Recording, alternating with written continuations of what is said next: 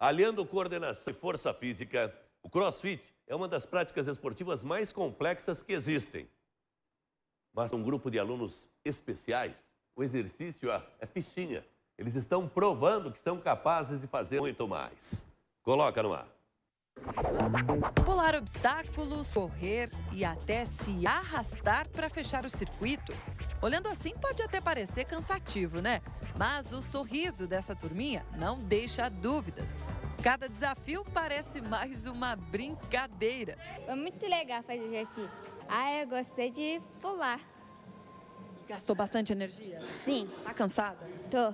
Você se divertiu? Sim. Vai querer voltar? Sim. Mas isso aqui tá longe, muito longe de ser só diversão, viu? Aqui todo mundo tá firme, pegando no batente para ficar em forma. Seja muito bem-vindo a uma aula de CrossFit, para lá de especial.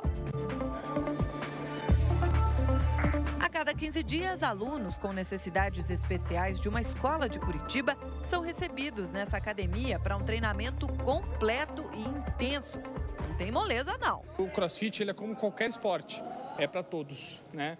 Tanto pessoas com pessoas, né, necessidades especiais, como nós que estamos aí no dia a dia trabalhando sempre, precisamos de alguma coisa para desafogar essa pressão. A iniciativa de incluir pessoas com deficiência no crossfit surgiu nos Estados Unidos, mas não demorou a chegar ao Brasil.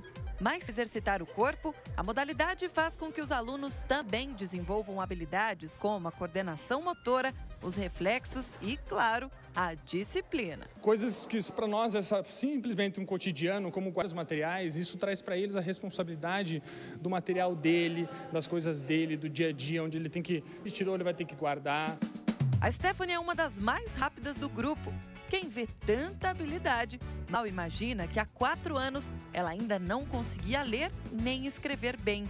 A evolução diária impressiona os professores. Até na parte de socialização, assim, sabe? Ela é, ela é, ela é, ela é bem, bem desenvolta nessa, nessa parte. E você gostou? Sim, muito. Do que, que você mais gostou? De correr. De correr. Correr, fazer alongamento.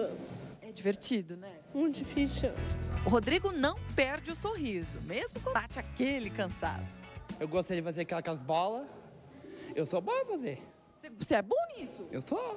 Ele sempre é assim, sabe? Sempre muito alegre, muito contente, adora dançar, sabe? Tudo de novo, assim, ele sempre está envolvido. Assim. O detalhe, gente, é que a Gi, ó, já terminou a aula e ela usa o braço da repórter para alongar, é isso mesmo, Gi? É?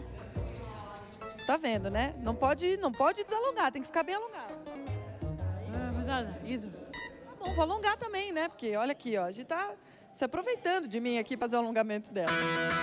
E em meio a tanta disposição, quem ensina também acaba para aprender. O ensinamento vem tanto para a gente como para eles. Precisamos ser muito mais didáticos e pedagógicos e nós passamos essa, as informações para eles.